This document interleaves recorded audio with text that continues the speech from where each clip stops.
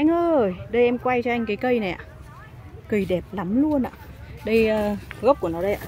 Anh nhìn này. Thoát này, 1, 2, 40 ạ. Và gốc nó dài gốc như này nó rất nẹ sắn vặn như thế này mà. Còn về hoa đây ạ. Đây anh cứ nhìn hệ thống nụ như này thì em không cần phải quảng cáo. Là anh cũng biết là cái hàng này hàng siêu hoa rồi. Hoa rất là nhiều sai ạ. À, chiều cao thoát thân cái gốc của nó gốc thì to lắm ạ. Gốc cái đường kính chỗ to nhất này thì cũng phải tầm được gần 4 1 2 thoát được 40 cây cao 60 8 1 mét hơn 1 mét ạ 1 mét thoải mái luôn. À, đường kính tán này phải được 80 anh ạ. Tứ phía bốn bề nhá cây này tròn xoe luôn ạ.